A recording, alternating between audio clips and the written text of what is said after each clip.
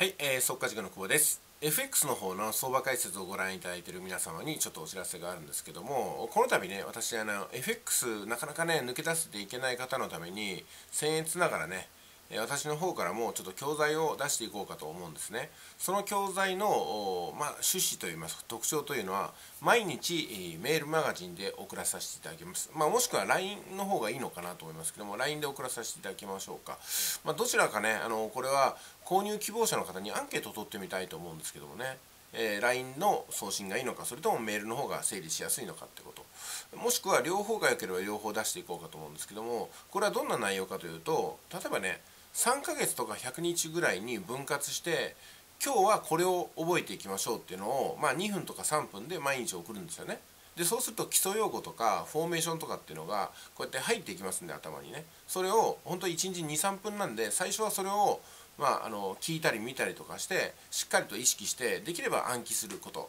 で、えー、咀嚼することね。こうやって覚えたことをとりあえず言ってみるとかね。えダブルトップはこんな形とかね、えー、サンゾンってのはこうだよとかネックラインってのはこういう意味なんだよってことをちゃんとちゃんと理解していって包み足とか腹み足がどうなるものかっていうのをちゃんと理解していくとこれをね毎日繰り返していくんですよ。だからその間エントリーとかトレードっていうのはあんまりする必要がありません。される分にはいいんですけどもね。基礎を積み上げていくあたりっていうのは結局ねあの試合をするわけではなくてジョギングをしたり腕立て伏せをしたりこう懸垂をするようなもんなんですよ。でそれができてある程度のね FX の筋力がついた状態で、え、相場の方に入っていくというそういうようなねあの緩やかな流れになってます、まあ、ですんで相場の方をきっちりとやっていくのは3ヶ月後ぐらいに思った方がいいと思います。だからこの3ヶ月はしっかりと基礎用具だけをしっかりとね毎日本当に23分とかまあ復習も込みで10分前後を取っていただいてあとは全部ね普段やられている生活とかお仕事に、えー、全勢力を振り向けていただければいいと思います。過酷なんですよね。やっぱり1日1時間2時間をいきなりやるっていうのは過酷なんですよ。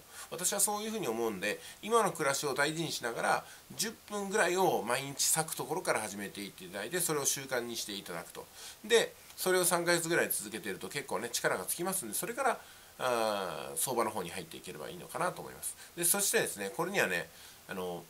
中間テストとか期末テストみたいなものも設けようかと思うんですよ。例えば1ヶ月経ちました。そのうちの2週間目に私の方からテストを出すんでそれに答えていただくと。もちろんね自分のこの暗記の中で答えていくのが一番なんですけどもまあホームワークなんでちらっと見ながらね答えちゃう方もいると思うんですよ。その場合はあここは覚えられていなかったなと。今見ちゃったからこれで確実に覚えていくんだっていうねそういうふうな意識を取り戻していただければいいのかなと思います。えー、ということで、ね、こんな感じで、えー、学校教育みたいな感じになりますけどもね FX の基礎用語とかね、えー、基礎フォーメーションっていうのを一つずつ積み上げていって逆田5本もその中に入れていきます、えーと、移動平均線の概念も入れていきます。こういったものをずっと積み上げた後でたまにテストがあると。それを繰り返す3ヶ月にしていただいてその後で実際に相場解説に合流するって形ですよね、えー、ですのでねこれはね教材としては3ヶ月間で、え一応終わりということなんですね。えー、まあ、だからといってね3ヶ月かかるからじゃあ何十万ですみたいな価格がつけませんので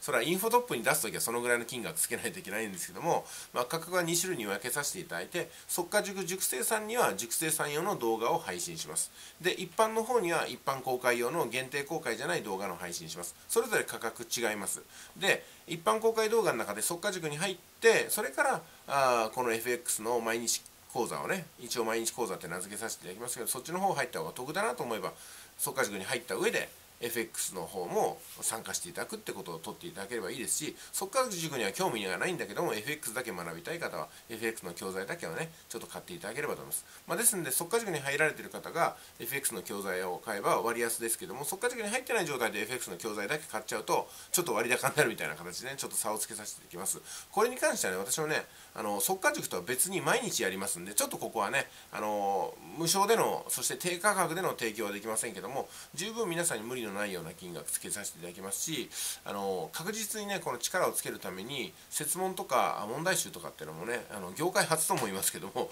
あの作っていきますんで一生懸命ね、えー、皆さんの力を確かめながら少しずつ進んでいって3ヶ月で、えー、まあ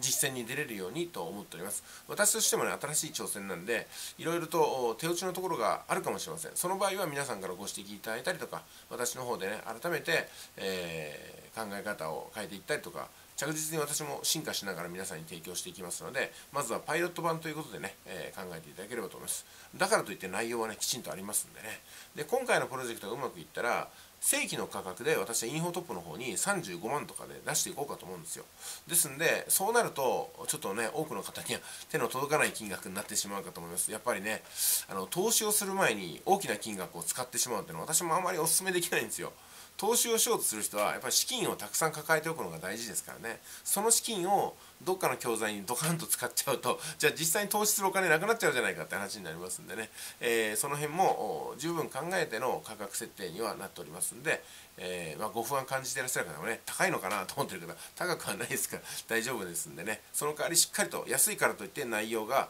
手抜きだったりとかね落ち度があったりするもんではなくてきちんと基礎用語を覚えていけるようなプログラムにしようと思いますので、えー、ご期待くださいませ。それではねもうちょっとしたら私資源回収で ゴミの回収に行かないといけません。当番なんでねちょっと行ってきます。それではまた明日からの相場解説もご覧ご覧いただければと思います。ありがとうございました。